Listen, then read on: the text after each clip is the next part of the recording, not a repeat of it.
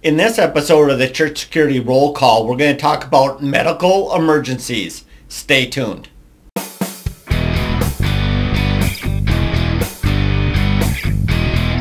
Hi, this is Chris with Sheepdog Church Security, and this is your Church Security Roll Call. Today we're going to be discussing the article Man Down, Knowing What to Do in a Medical Emergency. If you'd like to read that article, go to our website, sheepdogchurchsecurity.net, and look under the News tab. So let's uh, begin in the Bible as we always do. This is Luke 10, verse 34, and it reads like this.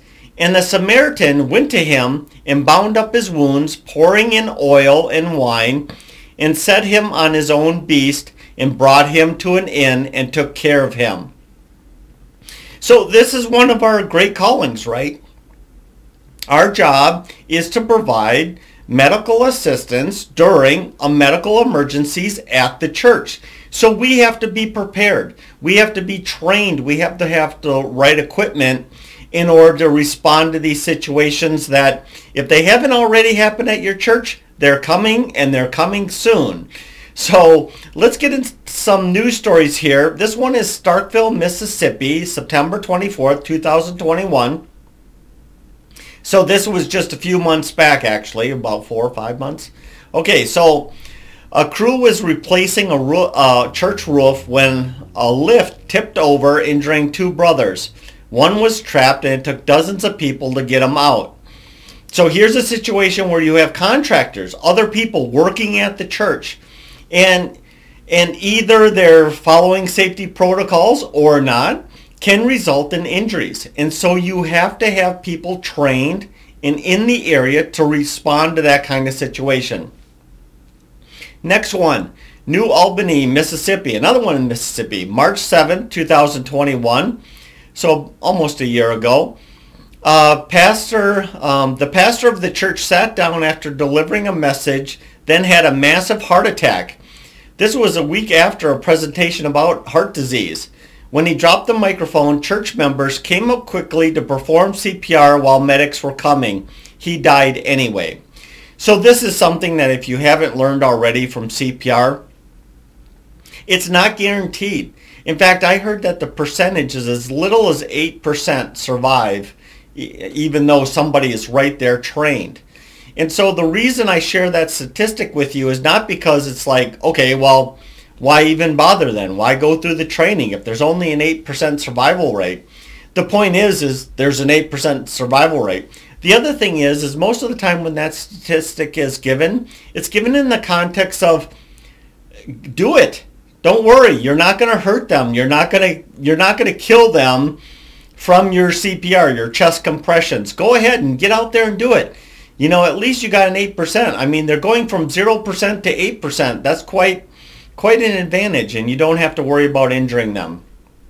The other thing is just the need of an AED because an AED can make all the difference in some of these situations. Next one is Chester, uh, Pennsylvania, December 4th, 2021.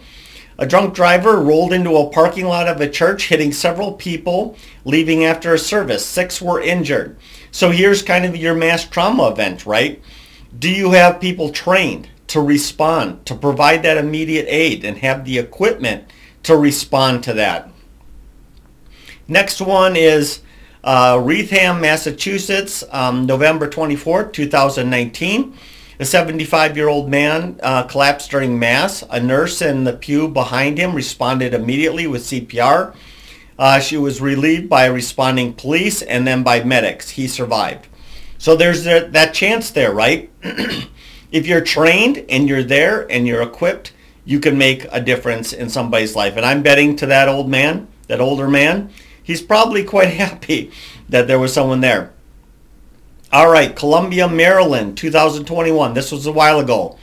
Um, this March, Sandy Pope, who is now an associate pastor at Bridgeway Community Church, tells how 11 years earlier, a co-worker on a previous job suffered a heart attack. In her accounts, um, she describes the visible symptoms of her fellow employee. Profuse sweating, difficulty breathing, clenching the chest. 911 call was called and medics responded. So this is part of how important it is for us to get medical training so we can recognize symptoms and then provide the appropriate treatment. Uh, the last story I have for you is um, San Jose, California, November 22nd, 2020. A homeless man sheltered in a church stabbed five persons, killing two. All right, once again, here's a story, mass casualty. We don't know where it's coming from. We don't know if it's a drunk driver driving through the parking lot, plowing over several people. We don't know if it's going to be some violent intruder that stabs five people. We don't know what it is. So we have to be prepared for uh, for many different types of medical emergencies. So before we continue, I am going to draw your attention to the show notes in the comments below. Make sure you click that link for the show notes. And then what you do is you put in your email and we immediately um, uh, send you an email with a PDF that has basically a summary of this article and this program. Make sure you check it out. Okay, so injuries and illnesses happen at churches. As simple as that. Like I said, if this hasn't already happened at your church, it's going to. And so that means that we need to be prepared and we need to be trained and have the proper equipment. Now, for most of us, what we need to do when we look at our churches, we kind of take have to take an inventory of who's in the congregation. What kind of uh, people, if you have personnel, human resources, do we have to respond to a medical emergency? So some of us have doctors. Some of us have nurses that actually come to church with us or first responders. You know, that could be police, paramedics, um, EMTs, all that kind of stuff we need to take a look at those people and, and think of how we might use them in case of an emergency. Now there's a couple of things to think about. Is, you know, let's say you have just one doctor or maybe you just have one nurse or one paramedic. You have to think about just when they're not there, right? I mean, you need to have more than just that one person or those couple of people. You want as many people trained in medical emergencies as possible. So once you've identified those people and you've recruited them, if you will, to be part of your medical response team, then you need to say, okay, who else can we get trained? I really believe the more people trained in emergency medical, the better. So that means, you know, you know, looking at the American Red Cross or the American Heart Association, there's some other organizations out there as well that certify people in first aid in CPR. Now, I would say your safety team members, at minimum, should be trained, certified through one of these organizations as first aid, CPR, certified type people. From there, start looking beyond that. What about staff? So think of your Monday through Friday. Who's there? You know, is it the pastor and a secretary? You know, can we get the secretary trained? Can we get the pastor trained? Um, if there's other people there, you know, who can we get trained for that during the week stuff? Then, of course, your other programs beyond services and midweek and whatever else you might going on. You know, who's there that has some sort of medical training? Now, we can adjust the level of training that they have. So a lot of um, these places, I know the American uh, Heart Association does this, where they have a compressions only CPR class. And what this is, I think they call it the Family and Friends program and they'll come in. Oftentimes you can find somebody who will charge you almost nothing to get this training done. And at least people learn the compressions only CPR. And so I guess what I'm ultimately getting at, at is this. Look at your human resources. Look at the people you have and look at the different levels and try to get as many people trained as possible. You know, maybe it's starting with just that friends and family and then maybe they get the CPR um, certification. And then beyond that, maybe there's CPR and first aid training. And maybe you have some EMTs or paramedics that have additional training. maybe you have a, a nurse and a doctor. And just get as many people trained as possible. The next thing that you have to look at is you have to look at equipment. Now, I how do I say this? Okay, so for the most part, you know those cabinets you buy or those pre-packed first aid kits? those are okay. They serve a purpose, but they generally have very low level supplies in there. So a good example is your cabinet might have, you know, band-aids in there. You know, it might have a little roll of gauze. It might have medications in there, you know, pain relievers, antacids, that kind of stuff. You know, maybe they have some emergency shears and all that kind of stuff. And those cabinets are great and you definitely should get them. You know, put one up in the children's section, you know, up high so the kids can't get to it. You know, put one in the kitchen if you have a kitchen. Maybe put one in the office for the people that work there during the week. These are great. You know, these are more of your little injuries that just become annoyances and can load, slow down work production or, or, you know, just cause different, you know, disruptions of one level, if you will. Those are absolutely great. You definitely should get them. But the next thing that you should get is you should get a medical bag. And with that medical bag, what I would do is talk to your most highly trained person and say, what do you want in this bag? You know, that you would need in case of emergency to keep somebody alive, to keep somebody as stable as possible until the ambulance gets here, the paramedics get here. And depending on their skill level, they're going to give you a list of things they would like to see in that bag. And do your best to make that bag for your most qualified person. From then on, now you're kind of looking at your team, maybe classrooms, things to that effect, where maybe you want something now that's going to fit your, your general safety team member or you're somebody who's going to be trained to deal with a mass trauma event or something more serious. So one of the things that we did is we partnered up with uh, medical or Mountain Man Medical. And what we did with them is this, is we created basically two types of medical kits. Now the first type of medical kit that we created, actually named after this company, you know, this organization, it's called the um, Sheepdog Belt IFAK. Now what this is for is this is for your trained safety team members, maybe people who have gone through stop the bleed type training, and they carry it on them. And the idea here is this. It's not meant to be a comprehensive medical bag. It's not meant to be everything they would possibly need. What it is, it's a pack that has the things that they need that are necessary right now within, you know, we're talking within seconds of response. What are the things they need to save a life? So the things that are in there is a tourniquet. It's got a tourniquet in there. So if somebody's bleeding, like some of you know, you can bleed out within seconds if a major artery is hit in the arm or the leg. You have no time to go run get a medical bag. You have to do it right now. So there's a tourniquet in there for that purpose. Next thing, it has an Israeli pressure bandage. So if you're familiar with these, these are this is going to be your below a tourniquet use, um, but just barely. You can use this bandage to put direct pressure on the wound, wrap it up nice and tight, get that pressure there to help slow and or stop the bleeding. Other things it has in there, it has a pair of medical gloves because we want to make sure that we're being safe. It has a pair of shears because obviously if you're going to put on a tourniquet or a pressure bandage, you want to cut the clothing away from that wound so you can see it and you can apply it uh, correctly. The other thing we put in there is we put in a CPR uh, face shield. The reason we do that is not for the mass trauma events because as we've spoken before, if somebody has severe trauma and they're not bleeding, you move on to a patient that has severe wounds and is still bleeding.